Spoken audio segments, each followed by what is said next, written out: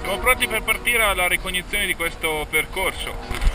Stiamo iniziando a salire, affronteremo questo primo dislivello per assaggiarlo e conoscere un po' meglio. Il percorso è davvero affascinante, ci, ci si alza abbastanza subito, però il panorama merita davvero molto. Si vede tutta la valle, è uno spettacolo davvero incredibile.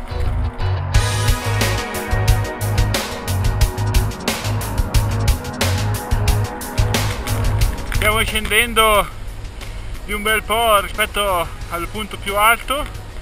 E adesso il percorso è un po' terra un po' neve. Decisamente interessante perché l'altimetria è molto varia ma non impegnativa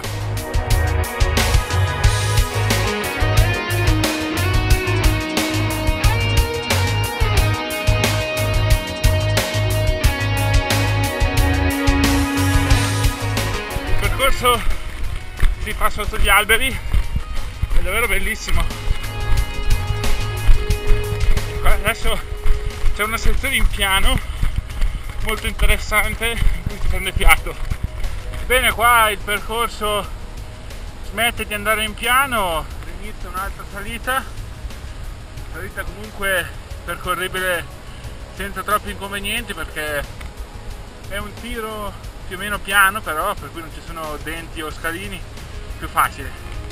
Quindi adesso affronteremo anche questo e vedremo come andrà. Un panorama stupendo davvero ci attende qui davanti a noi con eh, le piste da sci e una corona di montagne a farci compagnia davvero splendida. Partiamo correndo.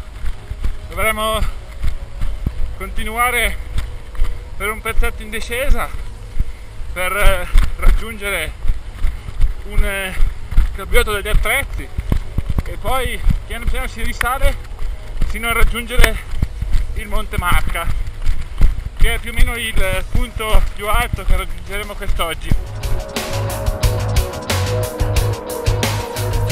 Il percorso benché sia attualmente senza neve non è più di tanto accidentato percorribile senza troppi problemi e il panorama è davvero stupendo.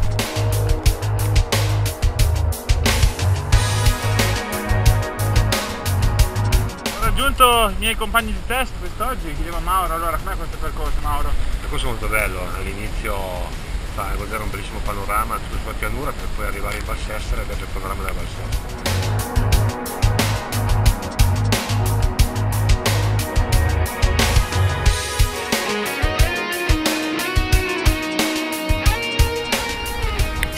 Panorama davvero incredibile, poi siamo un po' esposti, c'è un po' di vento, però è davvero bellissimo.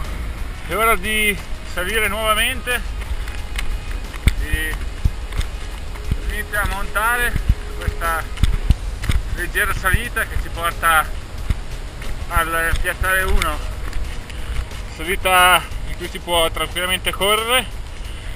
Una salita piacevole non troppo impegnativa